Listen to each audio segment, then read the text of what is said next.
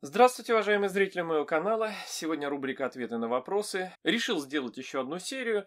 Накопились интересные вопросы, ну и некоторые нюансы, которые стоит пояснить. Значит, вот прям не буду терять время. Э, распечатал, как всегда, ну и буду зачитывать и отвечать. Катя пишет, мне помогла безглютеновая и бесказеиновая диета, то есть человек не ел молочные продукты, это без казеина, молочный белок казеин убрала, и глютена нет, то есть зерновых там, ну и прочее, где содержится белок, глютен.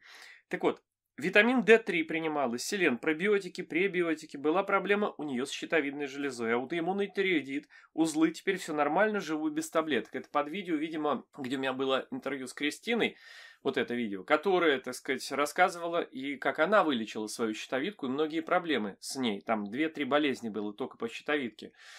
Значит, вот эти мои видео, кстати, о которых сегодня я буду говорить, сразу скажу. Вот все, о чем сегодня я буду говорить, ссылаться на что, будут по ссылкам даны под этим видео. Вы можете потом зайти и посмотреть. Да, нажав слово «Еще», открывают ссылки. Легко увидеть, если захотите понять, посмотреть эти видео, если вы еще их не видели, о чем идет речь. Ну вот, то есть я вообще прошу, дорогие друзья, присылайте мне свои интересные ну, истории о излечении тех или иных болезней, недугов и вообще укрепления здоровья. Э, пожалуйста, оставлю почту для этого специальную, куда вы можете это написать. И если вам будет интересно, можно сделать, если вы не против, видео с вами, вот как я делал с Артемом, с Кристиной той же. Да, идем дальше. Инна, здравствуйте, скажите, пожалуйста, спирулину, как часто пить? Я пропила месяц да хоть всю жизнь, пожизненно, поймите, что спирулина уникальный продукт, это водоросль такая, концентрат многих витаминов, многих минералов. По сути, вот как долго есть? Ну, всю жизнь человек ест. И спирулину, как добавку биологически активную, натуральную, но только биоорганик, конечно же, а, в идеале, понимаете, вот у меня вышло видео про практически вот всю группу витаминов В, которая содержится в спирулине. Я уж не говорю про другие компоненты – это уникальный концентрат питательных веществ, которых нам в нашей жизни сейчас не хватает. Потому что почвы бедны, потому что дефицит минералов в почве значит дефицит минералов в продуктах, и даже на органических плантациях химии там нет, это уже хорошо, но то, что там есть полный набор, то, что по табличкам когда-то ученые считали вот весь набор микроэлементов, макроэлементов, такого уже нет. Даже селен. Вот пример бразильский орех.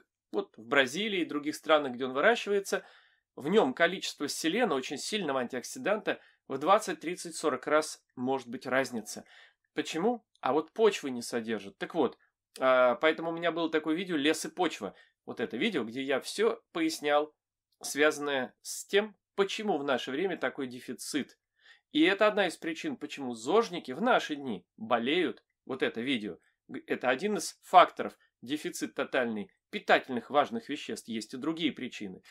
Всему есть причины. Просто если люди не хотят в этом разбираться, ну вот они отмахиваются или, как говорится, забивают на все, а катить все как будет, так и будет, мол. Но это плохо, это неправильно. А ведь несложно найти. И, кстати, будут люди задавать вопросы, я отвечу. Вот, что же тогда в идеале потреблять? Потому что спирулин это хорошо, но это не панацея. Но это очень важная добавка. Да, и сразу скажу, потому что опять всегда идут одни и те же письма. То, о чем я говорю, то, о чем любой лектор блогер, неважно, выступающий говорит, всегда по законам жанра, что называется. Ссылки на это, как купить, где посмотреть, даются под видео, который зритель смотрит, понимаете? Нажимаете еще, заходите ниже, там ссылки и на видео, и на товары, в том числе на спирулину, то есть на те товары, о которых речь идет. Далее. Поэтому пейте постоянно, я советую. Если мы говорим не о форме в порошке, а о форме в таблетках – это мне, например, удобнее. Я прям беру горсть после еды или во время еды. Лучше после.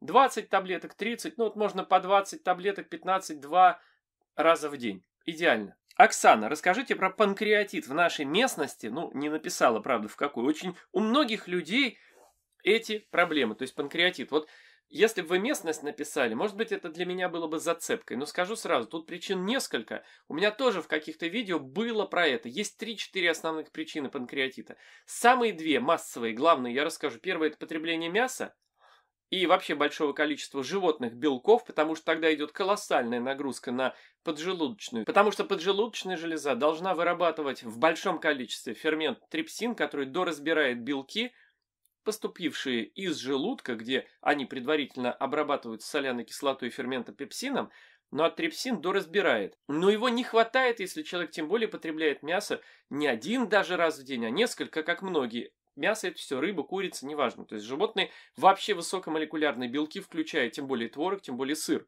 поскольку они содержат высокую концентрацию белка казеина, который недостаточно ферментной системы организма для полного переваривания, потому что там еще нужен фермент ренин. Это долгая тема, я про это объяснял уже много раз во многих видео своих про молоко там и так далее.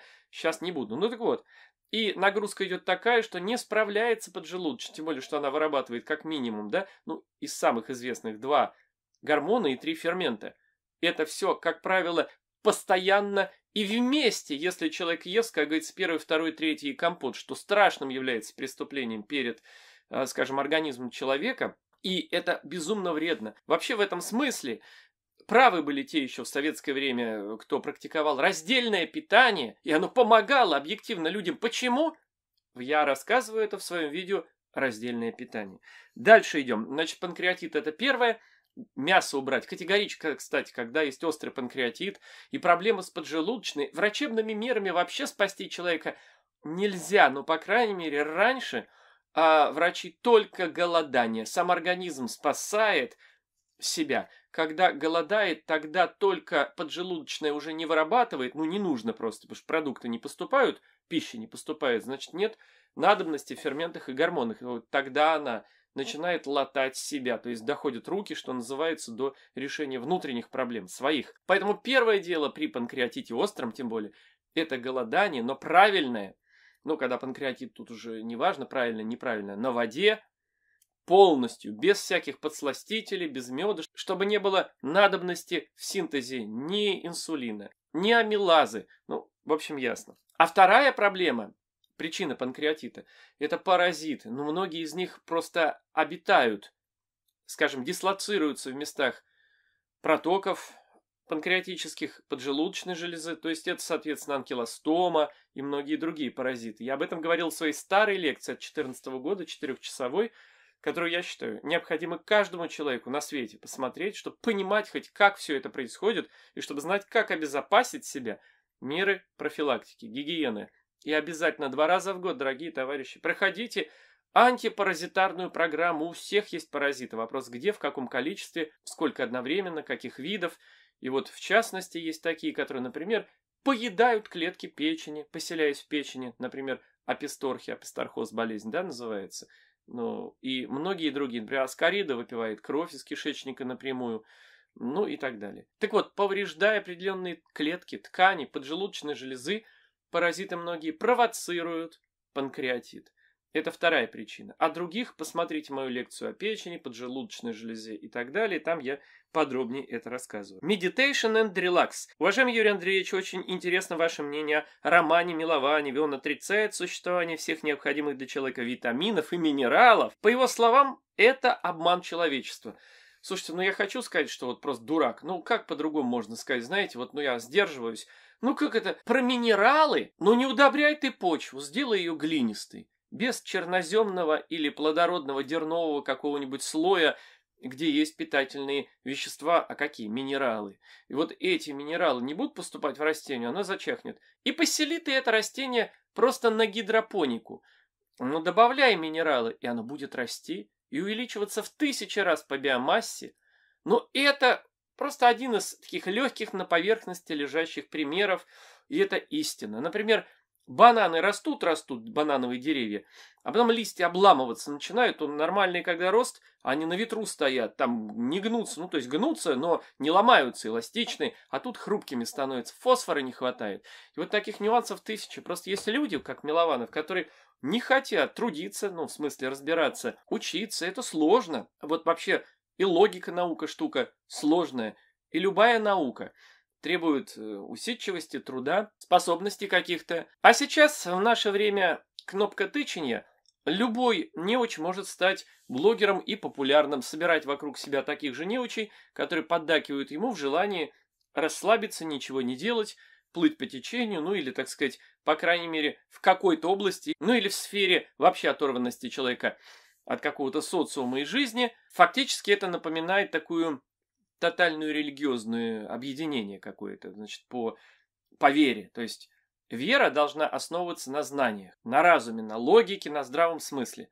Но когда вот такое, ну, впрочем, об этом я кратко и говорил уже в моем видео последнем, когда о враче Егорове, о его видео рассказывал. Или, допустим, как понять тот факт, когда у человека начинаются определенные проблемы. По этим проблемам и ясно, очевидно, что у него дефицит витамина В12. Он сдает анализ, у него дефицит витамина В12. Он начинает принимать метилкобаламин в таблетках, предположим, или гидроксикобаламин прокалывают, ну, курс. И ему становится прекрасно, сразу лучше. При... Вот один фактор только этот, который по анализам был недостаточен. У него анализы пересдает человек, у него они в норме. Ему хорошо, прекрасно, он вернул свое хорошее самочувствие. В этом была причина. Что это доказывает? Что витамин В12 есть. Ну и, и так далее. Вы понимаете, я поражаюсь над такими людьми, просто поражаюсь. Ладно, Элла Джул, пожалуйста, о синдроме раздраженного кишечника расскажите. Много лет присутствует эта проблема. Элла, очень жаль мне, что вы не смотрите мои лекции. Если бы вы их смотрели, вы бы знали, что есть такое мое видео о синдроме раздраженного кишечника, синдроме перфорированного по-другому кишечника. Я дам ссылку под этим видео, не будьте ленивы. Еще раз, товарищи, смотрите таким образом. Вот вы хотите что-то спросить про какую-то тему, а вы сначала не поленитесь, вот несколько секунд займет у вас времени, в ютубе прям наберите Фролов, пробел, поджелудочная, Фролов, пробел, синдром раздраженного кишечника, Фролов, пробел, дисбактериоз, Фролов, пробел, сибр синдром избыточного бактериального роста. Вот эти три видео по ссылкам я дам вам, оставлю сейчас для изучения под этим видео, которое вы сейчас смотрите. Оставлю. Ну, умеете хоть немного обращаться с Ютубом, с поисковыми вообще системами, это же все очень просто. А потом пишите только тогда, потому что вы же меня этим, в общем-то, обижаете, потому что показываете, ну, пренебрежение или какое-то равнодушие, или лень свою, мне не лень вот это все делать, так сказать, записывать, подготавливаться каким-то образом к этому, вставать раньше, иногда в 4-5 утра, а вы ленитесь несколько секунд в Ютубе набрать. Ну как это так? Александр Алексеев, расскажите, пожалуйста, про лечение витилиго. Спасибо большое за ваш труд. Значит, витилиго связано с это аутоиммунное заболевание. Это нарушение пигментации кожи. Проблема связана с печенью. Об этом я рассказывал в своем видео про печень. Посмотрите. Вот отдельно видео витилиго нет, поэтому я тут никаких проблем, но вот просто посмотрите мое видео про печень, там я это рассказывал. Вообще смотрите мои лекции, они очень полезны. Но это, конечно, труд, да, какой-то тоже, время потратить придется и немало. Но порой люди к этому приходят, когда очень серьезно болеют. Вот тогда некоторые, я таких людей многих знаю, мне пишут об этом, по 8 часов в день мои лекции смотрят, и время сразу находят. Вот вчера кричали претензии мне, предъявляли, что длинные лекции, а завтра смотрят по 8 часов в день, и рады. Диана Стрелец, Юрий Андреевич, дайте, пожалуйста, рекомендации по правильному питанию. Что можно включать в рацион, чтобы повысить качество жизни? Спасибо большое. Это очень важный вопрос, очень глобальный и сложный, который, в принципе, требует отдельного видео. Но у меня были уже примерно такие видео, которые вот это поясняют. Ну, например, что же тогда есть? Ну, это по продуктам. Конечно, в наши дни продукты питания натуральные, выращенные в экологически чистых местах, даже они не содержит в себе все нужные питательные вещества, которые когда-то рассчитали ученые по таблицам, что вот продукт такой-то содержит такого-то минерала столько, такого-то витамина. Этого уже нет. Что делать? Биологически активные добавки, натуральные, естественные, помогут. Что самое важное? Вот давайте так, я всегда говорю, дорогие друзья, сдавайте анализы. Вот когда кровь сдаете, общий анализ крови, заодно дополнительно на эти 5 пар. Витамин D2, D3, витамин К1, К2, витамин В12 и гомоцистеин, особенно если он повышен, это плохо. Это, значит, соответственно, как правило, дефицит B12. Ну, четвертая пара омега-3 полиненасыщенные жирные кислоты, а именно две из них, это ЭПК и ДГК. Ну и пятая пара – это ферритин и железо. Вот поэтому я советую, вот низкий ферритин железа, моя кровь плюс синтезит, плюс хлорофилл, то есть активный хлорофилл – есть отдельно у нас вот зеленые бутылки, моя кровь красные бутылки, синтезит, понятно. И плюс ко всему, ну это спирулину и хлореллу, да, то, я, о чем я всегда, в общем-то, говорю. Все это у нас есть на сайте nadgard.ru, если вы опять спросите. И ссылки под видео будут даны, разумеется. Говоря о здоровье, от бодрости, энергии, сейчас у всех почти дефицит витамина D3. Обязательно принимайте каждый витамин D3 хотя бы 8-10 тысяч МЕ международных единиц в сутки. Лучше всего не синтетический искусственный, а натуральный. У нас такой в продаже есть. Он добыт из лишайников. Знаете, что такое лишайники? Я надеюсь, это не мхи, есть группы мхи или шайники. Это симбиоз с водорослью, да? Э, гриба и водоросли, скажем, такой симбиоз. Ну так вот, это натуральный уже не синтез, а экстракция. Ну и концентрирование. Так вот, там же К2 уникальный витамин, который что делает? Закрепляет, как бы удерживает кальций в костях, что очень важно при эм, профилактике остеопороза. D3 он проводит кальций в кость, а К2 не дает э, вымываться. Так вот, эти два витамина важнейших есть в этом масле, плюс омега-3, плюс уникальный фермент. Вот это видео о нем, о масле этом, посмотрите. Продукт этот пока есть, но он скоро кончится. К сожалению, пока завозиться к нам в страну не будет. Разумеется, я рекомендую спирулину и хлореллу. Фукус в идеале. Куркуму с черным перцем. Вот эти, камбоджийские, не индийские, в которых всего лишь полтора процента максимум содержания действующего пигмента куркумина, а 10,5% вот из одной провинции Камбоджи, с которой мы работаем, именно по этой причине и стали работать, что ну просто не имеющий аналога в мире – уникальнейший продукт, и он лечебный продукт. И это рекомендую, безусловно. Что еще? Обязательно пройти антипаразитарную программу. Это месяц всего, один курс месячный. Она будет дана тоже по ссылке. На второй месяц я советую пройти программу по выведению из организма тяжелых металлов и радионуклидов. Все мы наглотались из воды, воздуха, еды. Какое-то количество тяжелых металлов и от ртути, там, мышьяка до радиоактивных элементов, да? Тот же криптон 85, по-моему, 85-й, это э, потому что выделяют любые атомные станции мира, это в атмосфере, а он задерживается в организме в жировой ткани. У любого человека, у любого животного. Это тоже проблема, она мало об этом говорят, ну, даже Караулов в свое время говорил. Вот, поэтому это есть такая проблема. И многое прочее. Поэтому это вот схема. А потом уже, если у вас грибковые поражения, там какие-то болезни, уже антигрибковая, противоопухолевая, она же, она же противовоспалительная и так далее, терапия комплексная. Называется это маркерный курс. Он тоже у нас есть на сайте. Вот. Еще очень важный элемент цинк. Про него тоже видео у меня было. Ну, цинк можно купить либо в коралловом клубе неплохой, либо где-нибудь в аптеке, какой-нибудь фирмы там хорошей, типа Солгар. Ну, цинк подойдет. Вот. И селен, ну, желательно отдельно, как очень сильный антиоксидант. А вот если вы хотите натуральный антиоксидант, прям натуральный, это дегидрокварцетин. У меня было о нем видео, и этот препарат у нас есть натуральный. Плюс к тому Т8 экстра, экстракт из пихтовой хвои. Такой полипринол, мощный, сильный антиоксидант. Натуральный, самый что ни на есть настоящий. Они совместимы между собой, просто по времени их надо разнести, ну, скажем, там, после еды, например, через 30 минут, а второй через 40. Что-то до еды, там, за 10, 20, 30 минут до еды. Все между собой просто надо разносить по времени. Это все сочетаемо. Кто-то скажет, что это много, столько всего. А я спрошу вас, а вы в салат бывало в жизни такое, что добавляли помимо огурца еще и укроп? А кто-то, может, туда и любесток, или какую-нибудь петрушку сыпет? А лук? Чего, и масло добавляли? Не слишком ли много ингредиентов? Вы что, каждый день? Поняли, что вы сказали? Ну, тем самым, это я вам пояснил. Это же не какой-нибудь я вам, так сказать, бисептол, а потом э, метронидозол предлагаю. Так сказать, правильно?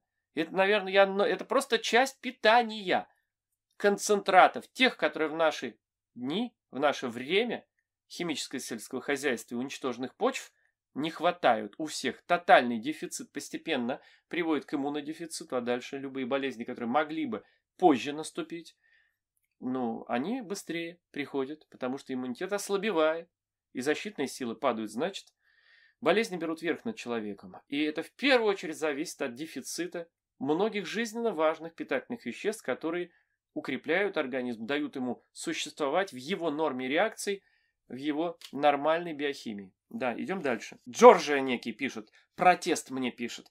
Как спать на животе, если человек весит 120 килограмм? Не смешите ради бога. Представляете, какой идиот. Это под видео, видимо, про камни, как растворить желчь на пузыре. Я там говорил, что очень важно, чтобы желчь хорошо выходила, спать не на боку, а хотя бы какое-то время там, ну, спать на животе. Тогда легко выходит желчь э, через общий желчный проток, например, из желчного пузыря, да, и печени легко, по общему желчному протоку в 12-перстную кишку. А тут мне претензию, то есть я просто правду сказал, а это на кого, дурак, претензию? На себя. Так не надо быть жирной свиньей. Жрать надо меньше, как говорила моя Пелесецкая. Похудеть надо. А это очень легко сделать. Очень легко. Плевое дело. Да, но только одна проблема. Отказаться надо от большого количества жрачки. От жрачки на ночь и от сладкого. Всего. Вообще всего сладкого. И калорий не потреблять более полутора тысяч, если вы не шахтер. Но этот, кто на животе спать не может, точно не шахтер. Вот, поэтому проблем здесь не будет. Только проблема одна. Жрать хочется, да? Вот какая Так это к себе проблема. Или я говорил, что я сейчас скажу, что нужно делать всем толстякам, и тут такой, или что, все люди толстые, что ли? Или что, толстым быть нормально, что ли? Ну какие же люди есть идиоты, просто абсолютно идиоты. Претензии он мне предъявил, я вообще в шоке просто. Тут будут еще кое-какие претензии послушать. Некоторые даже любят, как я их разбираю, но я прекрасно понимаю, почему. Потому что я, конечно, не терплю идиотизм. И я не буду там сюсюкаться, с кем-то и так далее. Кстати, еще интересный момент. У меня такое видео было, раздельное питание, да? Таких писем сотни. Я лично там, у меня прям как такой... Ну ладно. Евгений, сделайте, пожалуйста, видео. А что же тогда есть? Это я в том видео, раздельное питание, сказал, что вот хотите, чтобы я сделал такое видео, а то, мол, мне претензии предъявляют, это, мол, нельзя есть, по моим словам, то что же тогда есть? Ничего не остается. Я говорю, хотите, сделаю видео, что что есть. Ну, видео когда вышло? Вот посмотрите просто, вот там дата. Год назад, два года назад. Скажите, я мог сделать за этот год-два то видео, о котором я говорил, хотите, сделаю, сделаю. Наберите Фролов, пробел. А что же тогда есть? Увидите видео? Вот оно. Ну не ленитесь вы. Сотня людей написала это. Представляете? Дамир Фатхулин. Благодарю вас, Юрий Андреевич, за ваш неоценимый труд. Вот, благодарю. Я начал слушать ваши лекции два года назад. Убедился в правдивости ваших слов. Очень благодарен за ваш неоценимый вклад в создание школы жизни. Ну, в кавычках школы жизни. У меня нет такой школы в плане учения или школы физической, но имеется в виду знаний. Я повторно прослушиваю ваши лекции и беру все новое и новое то есть в старых лекциях разумное зерно, важные знания человек берет, но абсолютно верно. Поэтому я советую, я-то говорю, это не потому что я хочу выпендриться или там, чтобы вы больше времени э, потратили просто так. Ну, для пользы вашей же. Я говорю, мои лекции по-хорошему надо конспектировать. Если человек будет конспектировать и какую-то тему разбирать, а по этой теме у меня не одно видео, а несколько с разных сторон подходы как бы, да, к человеку, и психологические, и фундаментальные знания, и разжевывание, аналитика. Так вот, тогда у человека будет возникать такое чувство, в науке оно называется микозарение. Как Архимед кричал, Эврика, сошлось, пазлы собрались в единую картину мироздания, миропонимания. Вот что произойдет, когда человек начинает тематически все мои видео. Например, толстый, он хочет похудеть, устает, спать, но, так сказать, ложится вроде бы и рано, и проспит долго, э, и так далее. И вес лишний, а может быть уже и сахар повышенный. В общем, Какие лекции мои надо смотреть? Инсулинорезистентность. Почему все время хочется есть? Почему нельзя есть по 16.00? Что будет, если вы откажетесь от сахара на 10 дней? Раздельное питание, калории. Вот сразу, понимаете? И возникнет полное понимание. И беру все новое и новое. Так как запомнить сразу все невозможно, поэтому надо конспектировать. Спасибо вам огромное и дай бог вам здоровья. Благодарю и вам тоже здоровья. Маша Иванова. Глупость от природы. Глисты не выживут в щелочной среде. Так что спортсмен прав. Это, видимо, там Артем или кто-то говорил такое, ну, может, кто еще не помню.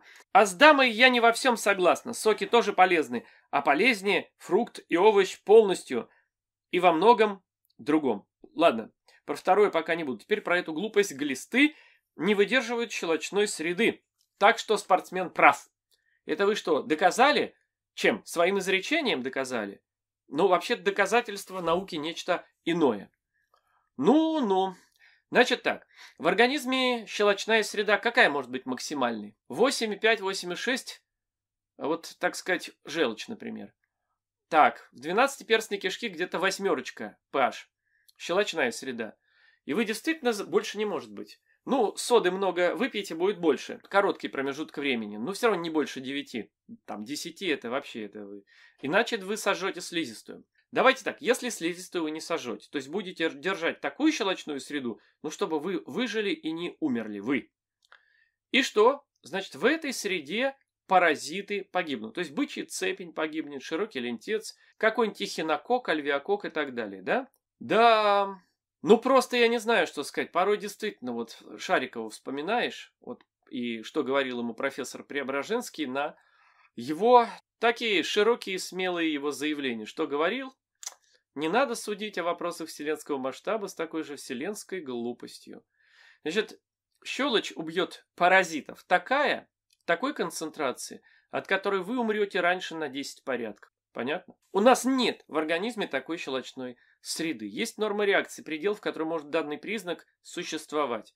У нас все среды щелочные, но щелочь щелочи рознь. Это не сода, разведенная, например, один к одному с водой, куда вы кинете, или звездка, где все сгорит, сплавится, извините меня, и ты человек умрет. А если концентрация такая, где прекрасно все живет и функционирует, то паразит, который покрыт многослойной оболочкой э, защитной, э, так сказать, и это вообще бессмысленно. Это просто никакая среда, которая не убьет человека, ни кислая, ни щелочная не убьет паразита. И не путайте, может, я предполагаю, вы путаете бактерии, вирусы, грибки, э, так сказать, и паразитов. Для вас все это одно и то же паразиты. Паразиты это гельминты, круглые, ленточные, плоские черви. Паразитические организмы, потому что паразиты, они по типу своего, так сказать, питания, образа жизни, это совершенно другое. Бактерии, грибки, вирусы. И то тут все не убьет далеко. Некоторые бактерии в щелочной среде, да, грибки отчасти, да, но не все, и не надо так огульно. Тем более вы это не знаете абсолютно. Это и видно из того, что вы пишете и как вы пишете. И главное еще так что. Вы что, что-то доказали, чтобы говорить так что? Спортсмен прав. То есть вы истину изрекли? Я сказала. Поэтому спортсмен прав. Какие же глупые люди есть. Просто. Ну, про Фрукты не буду, это подробно все было уже сказано мной вот недавно. А давайте сразу еще глупость прям подряд, ну вот еще одну. Game Exam. А разве против алкоголя какой-то паразит может устоять? Вот еще один такой. Если э, в крови человека алкоголь, там же всех выжжет насмерть. Я просто в шоке. А вы не, неужели вы действительно не думаете, что сначала концентрация, которая что-то выжжет, не выжжет, а ваши эритроциты, тромбоциты, форменные элементы крови, стенки сосудов. У вас тогда все должно быть сначала расплавиться, а потом уже паразит погибнет. Нет, такого нет. Человек выживает после алкоголя, ну, которого в усмерть не упьется. Выживает, да? День, два, год выживает кто-то алкоголиком, и 10 лет и больше ходит. И что? Так сказать, э, себе-то он вред колоссальный человек причиняет. Убивает себя, но не сразу. И каким-то образом и клетки его живы, ну, конечно, часть погибает, часть обновляется. Но а паразит это животное, которое защищено еще и оболочкой. К тому же, многие и более сильные токсичные вещества спокойно переживают. А такие паразиты, как эхинокок, альвиокок в виде финцист и так далее, они так э, вообще практически неуязвимы даже э, для тяжелых химических препаратов и живут годами в организме, пока куклины ничем на них не подействовать, кроме резонансного воздействия, скажем так. Вот, так что это вот я просто поражаюсь, просто, ну чего люди морозят? А если вы в чистый спирт положите паразитов, да, они погибнут сто процентов, безусловно. А если вы чистым спиртом э, человека зальете и внутрь, допустим, литра два, то и, и то это вот, понимаете, какой процент э, от а, массы тела, ну и погрузите в бочку со спиртом его человека, он умрет, безусловно. Ну и что вот вы вообще сказали, вы понимаете? Что человек пьет такую концентрацию алкоголя, чтобы убить паразит? Тогда сначала у него вообще полностью, как вы говорите, вот, значит, выжжен быть должен и кишечник, и кровеносные сосуды и так далее, понимаете? Я просто прав. Ну чего несут? Ну чего несут люди? Так, дальше. Лия Тарашвили. Добрый день, я лечила рассеянность, склероз, э, полным голоданием, 24 дня, ни еды, ни воды, вот 24 дня, да? Анализы прекрасные, только вода низкий показатель. Какой вода низкий показатель? Не понимаю. А новых нейронных нарушений нет. Он законсервировался. Ну, это еще рано говорить. Сейчас возьмусь за что-нибудь другое. Вот не надо, я советую, экспериментировать только никогда. Вообще-то рассеянный склероз э, и прочие аутоиммунные заболевания – это вещи серьезные. Подходить к этому я сов... вы можете как угодно. Я советую комплексно. Есть натуральные средства лечения. Безусловно, голодание помогает часто во многом, но, как правило, законсервировать проблему. То есть оно не дает распространяться, усугубляться проблеме. Грибные препараты, травы, э, изменение питания, не просто голодание, а питание надо кардинально менять. Убрать продукты, которые вызывают воспаление, которые вызывают реакцию антиген-антитела. То есть вот это. Обязательно ввести в рацион питания продукты, концентраты питательных веществ. Тут та же хлорелла, спирулина и прочее, о чем я постоянно говорю. Не допускать дефицитных состояний по тем или иным питательным важным веществам. Принимать гель-сорбент, ну или очищение клизмами кружками эсмарха, либо вот гель-сорбент, про который было отдельное видео у меня вот с доктором, коллегой моей. Вот посмотрите. А за что-нибудь браться, вот просто за что-нибудь, это неправильный подход. Димастер. Насчет B12 согласен. Я веган вот уже 9 лет и заметил проблемы с недостатком B12 только на второй год. Кто-то на третий замечает, кто-то на четвертый. Но, как правило, все. Когда ноги стали отекать, появилась усталость, начались покалывания в ладонях и ступнях. Купил баночку метилкобаламина и уже через неделю начал наслаждаться жизнью, как и прежде. Вот о чем я говорил в самом начале видео, когда вот, ну, помнил, что было такое письмо и привел в этом смысле пример. Да, так стандартно многие люди пишут мне, и не только мне, просто в формах чатах можно найти. Но вот это не доказательство того, что вот практика критерий что был дефицит. Человек понял по описанным, то есть уже известным ранее симптомам, что да, дефицит B2, может быть еще какой-то дефицит чего-то и он всплывет далее. Но это явный фактор. Вот он стал принимать B12, все отлично стал. Кому интересно, то я делаю упор в еде на зелень и овощи, а не на фрукты. То, о чем я говорю многие годы. Потому что сахара чем меньше, тем лучше. И, конечно, зелень, безусловно, это очень... Причем зелень содержит очень много белка. У меня даже видео такое было. В зелени белка больше, чем в мясе. Да. Иногда ем гречку для стабилизации веса, иначе сильно падает без злаков. Употребляю омега-3, B12, D3. И вот уже почти 10 лет чувствую себя превосходно ничем не болею. Только ковид немного статистику подпортил. Ну, это, как говорится, не страшно. Совершенно правильно разумный подход. Я бы еще добавил туда обязательно в рацион спирулину. Обязательно. Значит, эм, ну, D3 уже есть, допустим. Проверяться на то, что я сказал, периодически. Если уж каши едить, я бы пшено добавил и овес бы добавил. Ну, кашу, например, из овса. Или пророщенный овес глазерный, что, конечно, лучше. Ну, примерно так. Далее, сила воля. Юрий Андреевич, уважаемый и любимый, ну прям было. Хотелось бы отдельный ролик о том, сколько натурального меда в день можно употреблять. Один наш знакомый любитель программ по омоложению организма, еще по омоложению, я вообще в шоке, съел за один присест трехлитровую банку меда, и ему поплохело. Надо же, кто бы мог подумать. Скажите, пожалуйста, можно ли мед употреблять каждый день и какое количество максимально? Да, в том видео, которое называлось «Как э, растворить камни в желчном пузыре», я как раз про это и говорил, про эту методику, чайную ложечку в день. А в видео, вот буквально одном из последних про Кристину, говоря о меде, у меня даже отдельное видео вырезал из этого видео вставки такие, про мед сделали мы, да, так вот, э, речь шла про, если уж едите мед, а он сладкий, в этом минус его, что все-таки фруктоза, глюкоза, то вот все остальное в меде плюс, конечно же, да. И самый полезный мед это дикий мед. От диких пчел, ну, бортевой мед, колодезный. Особенно, конечно, важно, где находятся еще какие травы, там, растения, э, какие леса. Ну, то есть вот тем не менее, дикий мед, а, а из него самый полезный, тот, который перезимовал в ульях, ну в колодах, в дуплах, с пчелами, и вот этот оставшийся мед, полностью ферментированный, конечно, там не все только биологии можно объяснить, но там буквально чудесные вещи возникают, то есть он действительно лечебен. Такой мед у нас бывает, вот как раз в середине мая и где-то месяц-полтора, пока его не раскупят, ну и потом только осенью появляется собранный за весь год. А вот мед, который майский там собрали уже в мае, там это всегда все недозревший мед. Нельзя такой мед. Мед полностью созревает, вообще который в ульях с пчелами зимует. Ну и отчасти уже зрелый мед после медового спаса. Вот это совершенно э, верно. Ну, конечно, э, пчелы не должны химией обрабатываться, ведь у всех клещи, знаете, пчелины, их обрабатывают химией почти все. Никакой вощины покупать у кого-то нельзя, потому что там обрабатывали, и с вощиной, с воском передастся через вощину в мед.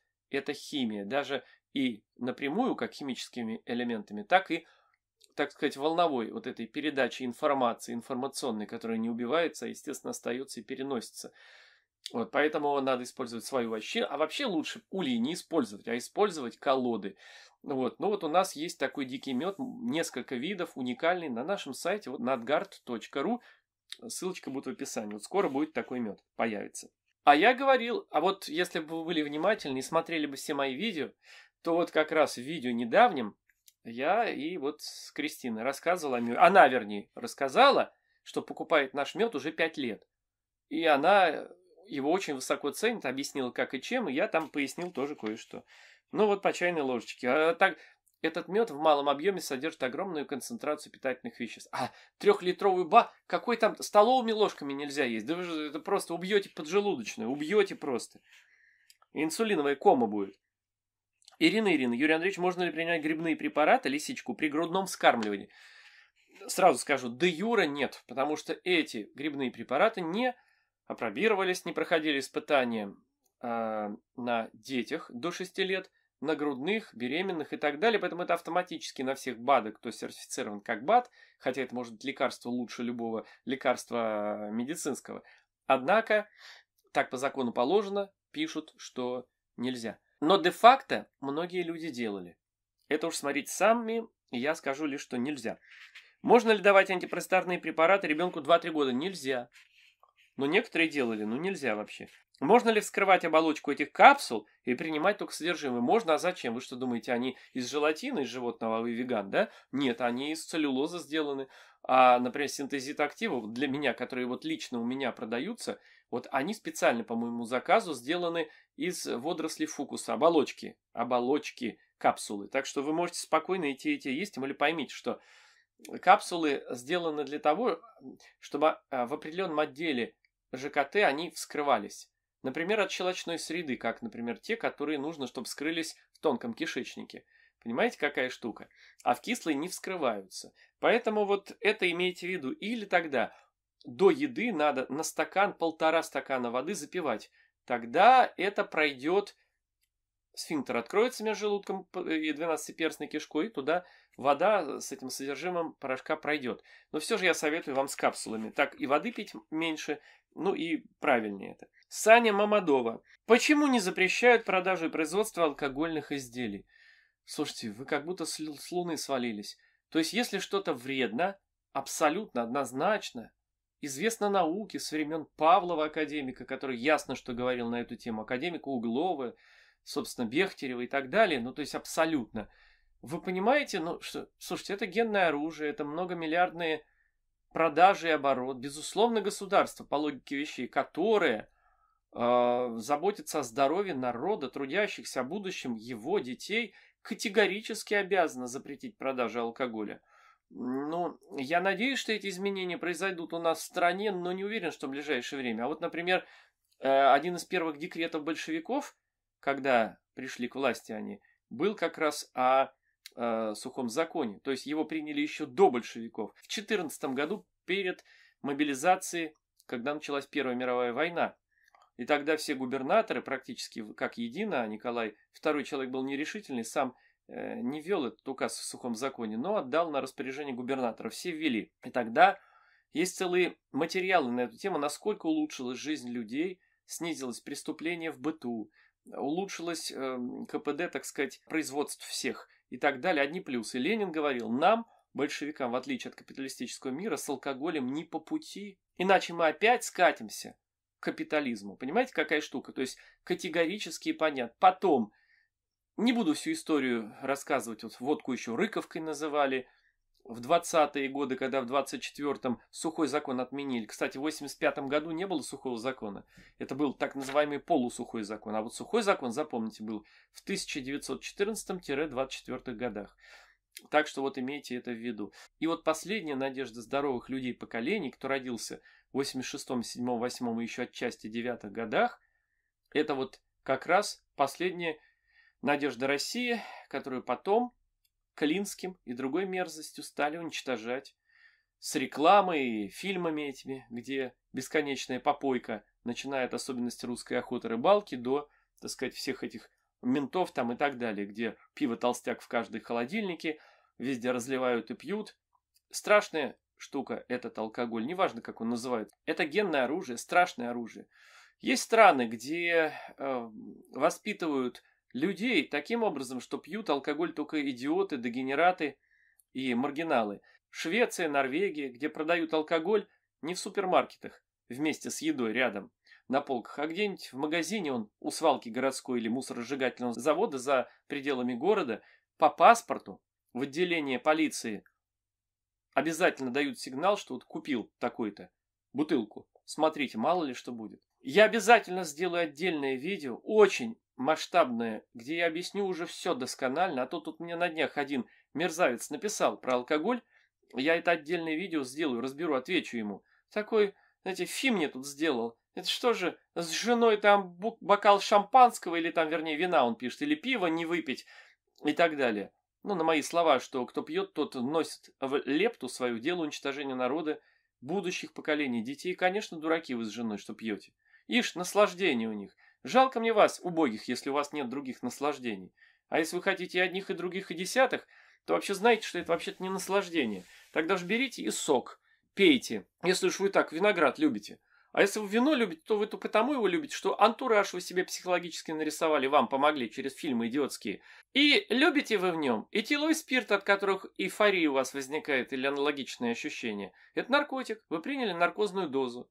И вам хорошо. Она очень низкая наркозная доза. Ну, естественно, не та, при которой режь и операцию и можно, так сказать, не боль не чувствовать. Нет, это большая доза, разумеется.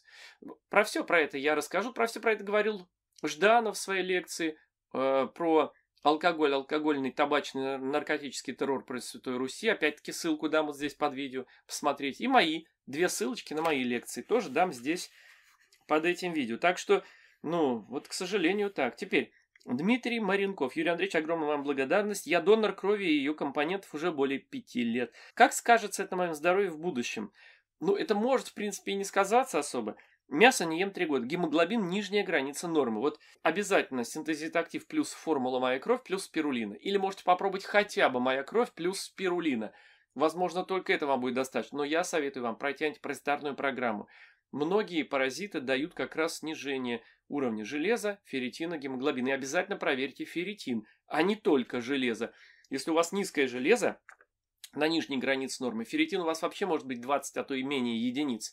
Тогда прекратите пока сдавать кровь, доведите до порядка полного эти показатели. Учтите, это не шутка все-таки. Стинг, Стинг, благодарю вас за ваши видео и то, что вы делаете для нас. Я, если честно, раньше был огромным фанатом Андрея Счастья и Милованова. Но я просто про этого Андрея Счастья опять сказал в связи с видео врача Егорова о нем, что он его лечил, попал к нему он недавно. Кстати, сразу скажу, хватит писать вот эту ахинею, что вот, есть видео, где Андрей Счастье действительно был худой, а потом опять, так сказать, мышцы у него выросли. Это было 20 -го года, в октябре или в ноябре, видео, то его.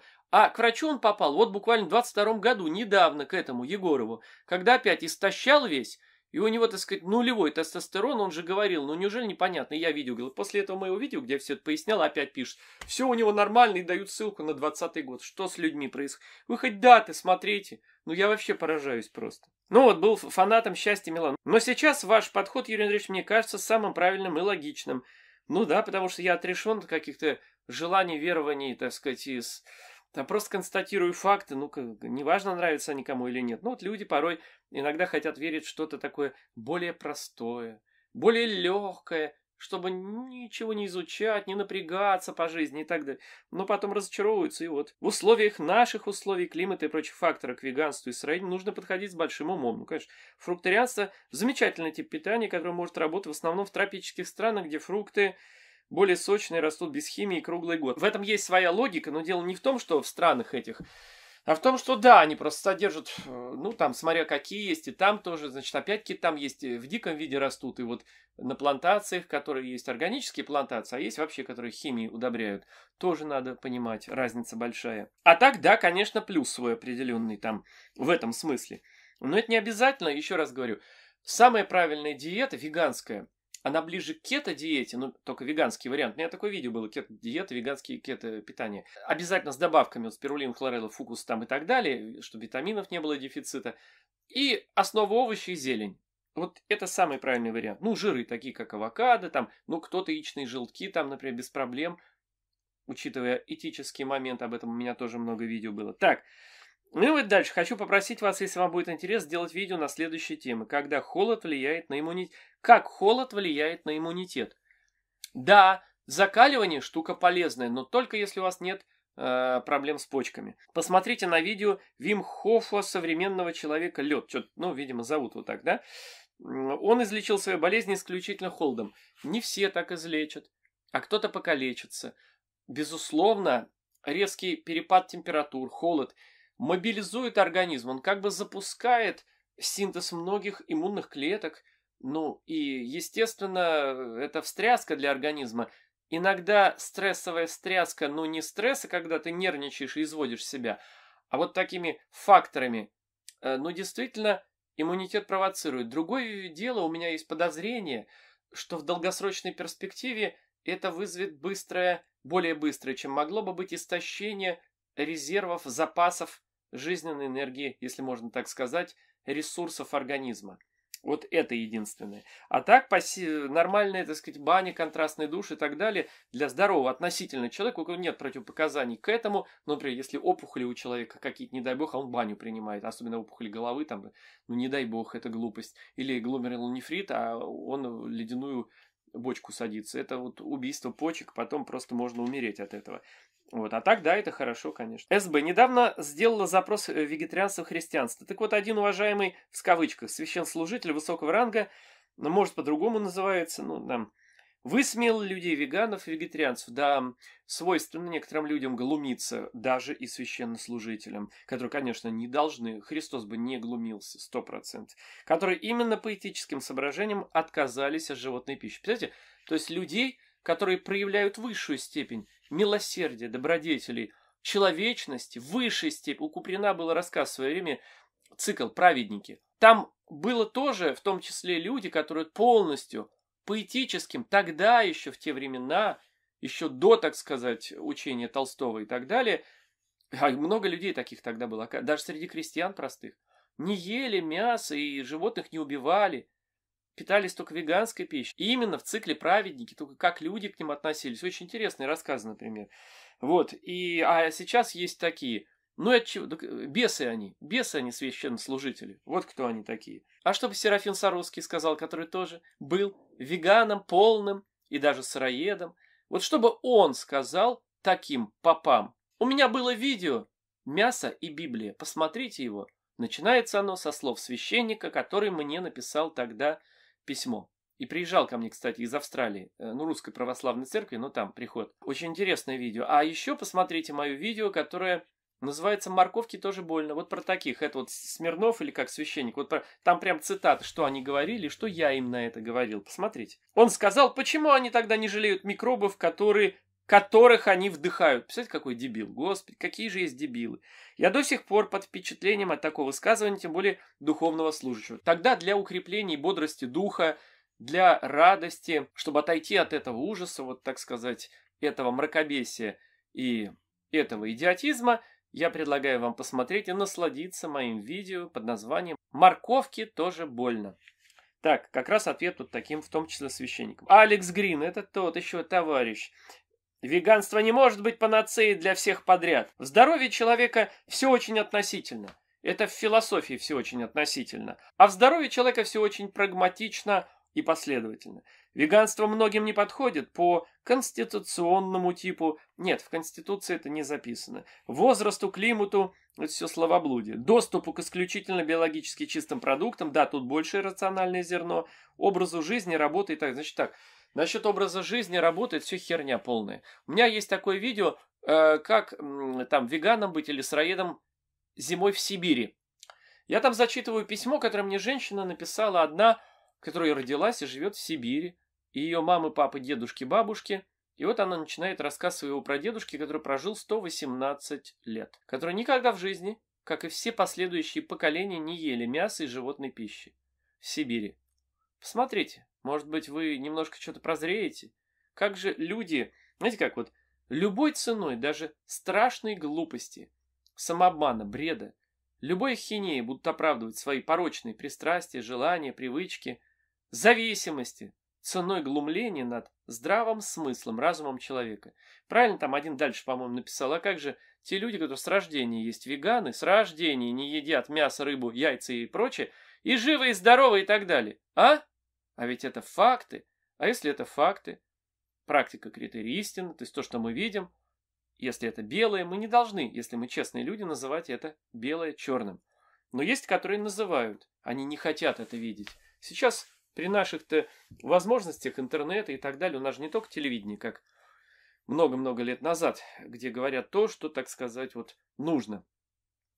Ну, и книги есть. И раньше, кстати, были. Вы знаете, что до 30-х годов было огромное количество книг по вегетарианству, сыроедению. Вы знаете, например, что жена Репина, ну вот ей давал Бехтерев, академик, преподавать в институте у студентов даже вот курсы по питанию по сыроедению. Знаете? Да я много чего интересного на эту тему рассказывал в своих видео. Ужас просто. Образу жизни, работы. И дальнобойщики мне писали, вегетарианцы-сыроеды. И другие специальности, и тяжелые, э, и грузчики, и грузчики. И другие коллеги, грузчики, которые перекуры, мясо, такие вот мужики здоровые вроде, но вот такие пузо уже, вот так сказать, 40 лет и так далее, а то и раньше. И что? И вот они даже не могли части угнаться за этим человеком, который тоже грузчиком работал, с ними пришел веган, парень. Понятно? Выносливость, сила увеличивается, но если человек, конечно, глупости не сделает, не истощает, как Андрей Счастье, когда уже мышц нет. Но это же проблема не вегетарианства или сыроедения, а конкретно его, как зомбированного человека в своих убеждениях, упивающихся еще, который при этом учат других людей. Просто поражаюсь. Идем дальше. Что пишет этот еще товарищ? Наши предки, вот вообще полный вперед, наши предки и первобытные ели мясо и имели такие силы и энергию, что современники мечтать не могут. По 10 детей рожать норма была. А теперь вот это видео про бабушку сейчас мой помощник вставит. Расскажите о себе, сколько вам лет? Да только всего с 27-го. Как у вас здоровится? Богу благодарю, на ногах хожу. Все удивляются, твои все лежат, а ты ходишь. А я батюшке говорю, батюшка, они мясо едят, а я с 27-го года, как родилась, мясо не ем. Теперь давайте посмотрим про вегана э, в прошлом олимпийского чемпиона, который в 104 года вот так монету э, 25-центовую руками, двумя пальцами сжимал в конвертик, складывал. Умер его машина сбила, 104 или 105 лет. А теперь несколько кадров, посмотрите вот этого э, вегана, который вот была съемка 98 летом было, потом в 102 на машине подъезжает вот так вот. Известный кардиохирург еще старой школы, академическое образование, который, так сказать, вот э, прожил 104 года тоже. Я не буду дальше показывать, хотя очень мог бы и 110 показать и больше, да. Так, значит, теперь скажу ему следующее. Наши предки и первобытные. Значит, вот кто рожал по 10 детей, это кто? Первобытные или наши предки? А наши предки, зачем вы такой большой диапазон взяли в десятки тысяч лет? Насчет там первобытных, что? Вы много о первобытных знаете? Много? Ну, например, вы слышали все, что на мамонтов охотились, да? А, и верите в то, что люди первобытные с камнями и палками могли забить мамонта. Причем где? В Северной Европе, где мамонты паслись, где скалистые породы после ледников валуны – вы попробовали бы там сами с лопатами вырыть, у них не было лопат, а вы бы с лопатами могли бы там ямы такие кубов на 100-200 вырыть, ну, чтобы мамонт упал, его можно было там камнями забить. Или вы копье можете проткнуть, даже, а железа не было, мамонтову кожу 6-сантиметровую? Не можете. Так вот, а почему ученые судят, что мамонтов ели, а потому кости находят рядом с захоронением людей и мамонтов. А, а если через тысячу лет или десять тысяч, где-нибудь в Шри-Ланке или там где-то, если откопать вот могилы, и там люди и слоны захоронены вместе, тоже слонов едят, скажут, да? Вот такие, как вы. Да слоны домашние животные были, как кошки и собаки, которые помогали, причем тотемные животные, причем которых уважали и мамонты также у наших предков, которые, так сказать, помогали в хозяйстве переносили стволы деревьев, поднимали на высоту, как краны, так сказать, прочие грузы и так далее. Вот что это было. Но это же надо такому бреду быть, что вот так вот все искажать и верить в эти глупости. Так что давайте так, насчет первобытных предков вы лучше помолчите, а насчет тогда, что могли бы сказать, там по 10 детей, так и больше. Ну, гораздо, есть по 20 рожали, и даже 25. Одна женщина рожала 20-25 детей спокойно, да. До революции были проведены в конце 19 века вот, э, скажем, статистика собрана, сколько по рождению средний показатель, а, и были ошеломляющие цифры. 16 или 18, я сейчас не помню. Ну, Менделеев 18 ребенком, да, родился. А мясо ели, во-первых, далеко не все, во-вторых, очень мало и очень редко. И вот это вот чушь просто, ну, от брюха продиктована и от мозгов таких. А вот эта писанина продиктована от брюха алчащего мяса, от нежелания отказаться от своих любимых пристрастий, привычек и зависимостей, от желания успокоить свою совесть, которая выпьет у каждого, душа и совесть, все-таки к справедливости, к тому, что плохо убивать животных. И люди придумывают отговорки любые, лишь бы успокоить свою совесть. Сознательно, осознанно или подсознательно, бессознательно пытаются это сделать. Вот и все. Рима Круглова. Настроение перешла более 10 лет назад. Перешла резко. Выпали волосы и пломбы. Сразу скажу, что это проблема, потому что у вас уже она была, и тут дефицит D3, К2 витаминов. Может быть кальция, может быть магния. Это как бы основа. Не хватало, может быть, кальция в пище, причем органического. Может, вы зелени мало ели. Ну, предположи, а по D3, К2 точно. Но вот мышцы не съелись. То есть это она к тому, что некоторые говорят, мышцы съедаются, а вот у нее нет. Наоборот, мне стало легче двигаться, я себя почувствовал на 20 лет. Одно дело легче почувствовали, естественно, потому что ушли интоксикации, воспалительные процессы. Не нужно столько выводить нашим выделительным системам токсичных веществ отработок организма. Это все понятно. Вот, поэтому в 50 пробежала полумарафон в Лужниках, заняла первое место на дистанции 5 километров в своем городе. Два года подряд занимал четвертое и второе место своей возрастной категории в областных соревнованиях. Как такое возможно без мышц? Нет, ну это понятно, но там мышцы большие не нужны. Там связки, сухожилия, вот что там нужно. Ну, а мышцы там большие не, вы же не тяжелая атлетика. У меня огород, я сама копаю грядки и делаю всю работу в огороде. Думаю, если бы мышцы съелись, не, ну как съелись, вы, если двигаться можете, они уже не съелись. Ну нельзя так говорить, но это не говорит о том, что у вас э, нормальная мышечная масса. Надо быть объективным. С возрастом мышечная масса у всех людей уменьшается. С, с каждым годом, с 30 лет, у кого-то на 1%, у кого-то на полпроцента. Вот в этом я редко у кого, кто поддерживает себя в физической форме, качается там, ну, 0,3%, ну, у всех без единого исключения, понимаете? То у меня хватило бы сил э, только лежать. Нет, конечно. И мышцы не съелись, потому что вы ходите. Коль ходите, вы не лежите, значит мышцы есть. Но не значит, что их стало больше, либо они остались на том же уровне. Не значит.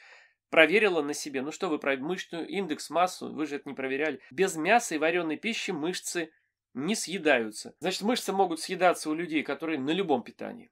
На мясном, на сыроедне, на веганском. Ошибки люди делают часто. У меня есть видео, почему мы не можем питаться только плодами в наши дни. Я это поясняю там. И почему зожники болеют в наши дни, то есть имеют проблемы. Посмотрите, там и проблемы с кишечником. Не у всех они есть. Проблемы с паразитами, с кишечником, дисбактериозное состояние, сибир и прочее. Все это влияет. Пища, которую вы едите, и добавки, которые вы получаете или не получаете.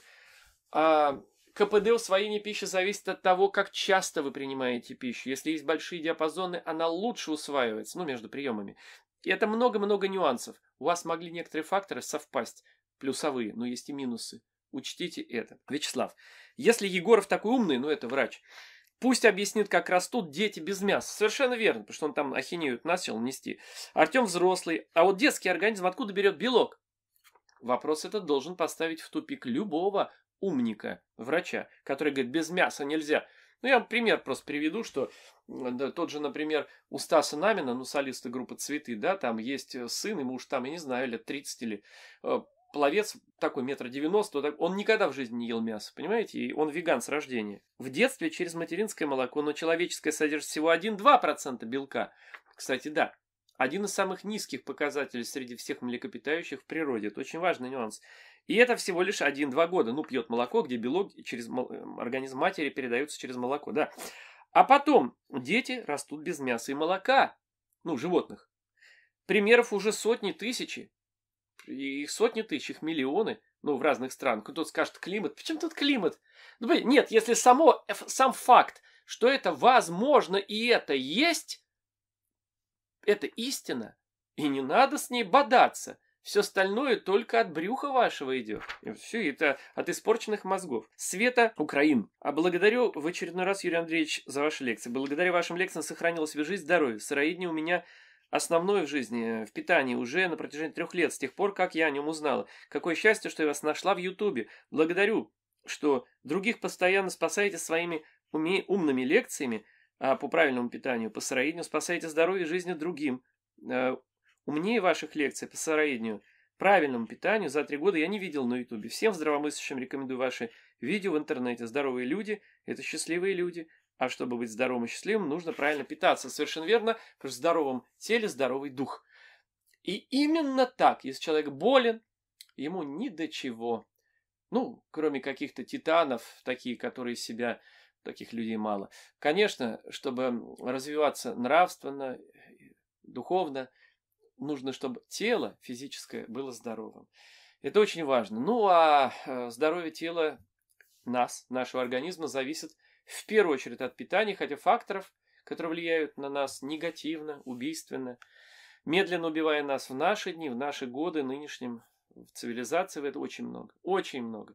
Об этом у меня было видео лет 10 назад снят, называется «9 причин болезней». Питание – это одна причина, группа причин. А другие 8 групп причин – это другие. Хотите посмотреть, разобраться? Посмотрите. Ссылки оставляю в описании. Я рекомендую вам подписаться на мой канал Дублер в Телеграме. По здоровью. Там все эти видео дублируются. У меня есть МПЕК. Кто-то хочет на машине ехать или другу переслать. Ну, маленький объем. Ну и вообще сохранить у себя. То есть голосовое вот в MPEG 3 аудиофайлы. Прям под видео тоже будет. Э, лекции Фролова в MPEG 3. Там прям архив. Другие ссылки на другие соцсети. Есть у меня другие каналы в Ютубе на другие темы. Есть у меня другая телеграм-платформа э, по теме «Совесть и подлость», ну, по общественно-политическим вопросам, как канал на Ютубе пока еще этот есть, по общественно-политическим «Совесть и подлость» называется. Это уж будет интересно смотреть. Ну, а по здоровью здесь. Ну вот, собственно, и все. На сегодня достаточно. Пишите свои вопросы, комментарии, ждите от меня новые видео. Всего вам самого лучшего.